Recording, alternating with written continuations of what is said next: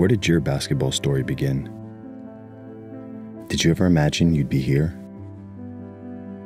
Remember those times that brought you pure joy?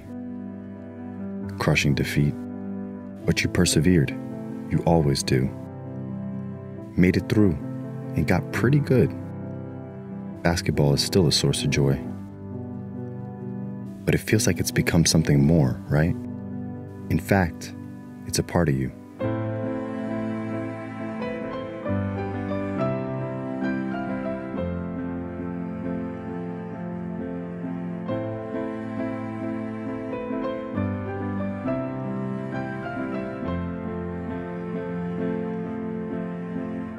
So, how much farther do you want to push this?